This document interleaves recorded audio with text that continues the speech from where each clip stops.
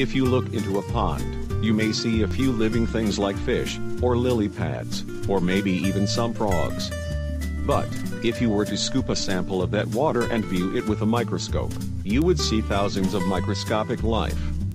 Microscopic life is anything that is living that can be viewed only with a microscope things like Daphnia, amoeba or paramecium. This lesson will look at the parts of a microscope so you can learn how to view this tiny world.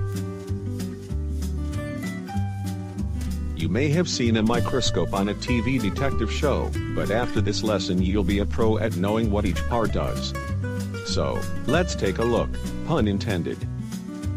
Most important, always carry your microscope by the carrying handle. Picking it up by any other part will damage the microscope. Then plug it into an outlet and flip the switch to on. You will know your microscope is on because the light will be shining. The light sits at the bottom of the microscope and directs light up through an image towards your eye.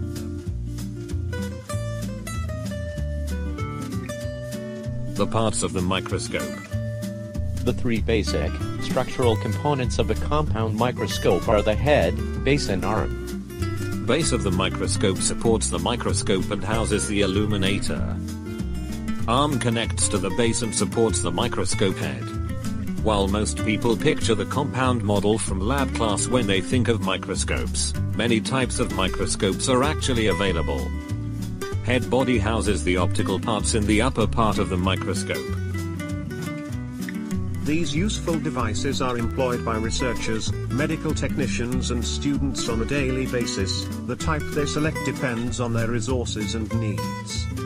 There are six types of microscope in the world. The first one is the simple microscope. The simple microscope is generally considered to be the first microscope. It was created in the 17th century by Antony van Leeuwenhoek, who combined a convex lens with a holder for specimens magnifying between 200 and 300 times. It was essentially a magnifying glass. While this microscope was simple, it was still powerful enough to provide Van Leeuwenhoek information about biological specimens, including the difference in shapes between red.